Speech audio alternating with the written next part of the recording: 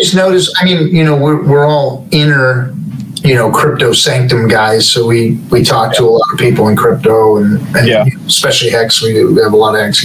But have you noticed that like your real world people are like now they're like magnetized to you? Like, oh, I want to, I want to talk to you about crypto.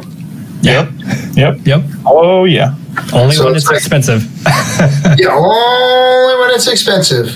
It's like, well, wait a minute, you knew I was in crypto for the last few years. Why all of a sudden now you're interested? You were like you were interested in 2017 when we were pumping to 20k, 20k. Now you're interested that it's pumping to 40k. Well, bro, I only buy tops and sell bottoms, dude. Come on. I think everyone that I like promoted like Hex to in the beginning, not a single person got in. And then throughout the project, just over and over and over again. And then like when Hex went on its crazy run up, that's when everyone just started blowing me up. Like, hey, remember that Hex you were telling me about? It's like, yeah.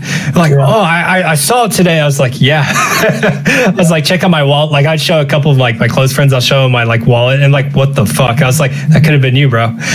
but it wasn't. I mean, You could have been a contender. You could have been a contender. I mean, this is what this is what people really want you to do, right? They want you to be less, right? All right, fucking like gold chains out the out, out the mug right here, like all kinds of jewelry and stuff. AP on this wrist, Rolex, on Rolex on the other. on the other wrist and stuff. Roll up in a fucking Lamborghini or wrist and stuff, and then drive up to their fucking place and say, "Yo, you need to invest in this thing because it's gonna go up a lot." Okay, I'll listen to you.